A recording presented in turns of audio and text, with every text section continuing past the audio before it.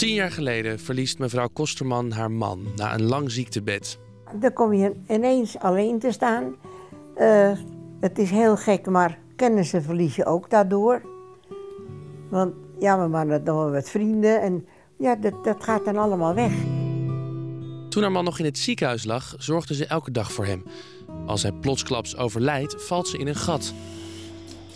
Ik wist eigenlijk steeds die loop naar, naar de Groene Laan. Ja? dat, ziekenhuis. Dat wist je toen en dat valt ineens zo weg. Want zo praat je nog met elkaar en je komt de volgende morgen en dan is hij dood.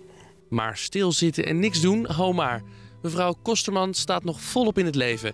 Ze breidt en gaat elke maand mee met Stichting Vier het Leven, die uitjes verzorgen voor ouderen. Dit wil ze zeggen tegen eenzame ouderen die thuis blijven zitten. Je bereikt daar niks mee. Je moet toch verder. Hè? Al heb je nou zoveel pijn, je moet verder. En ja, daar hou ik me maar aan vast.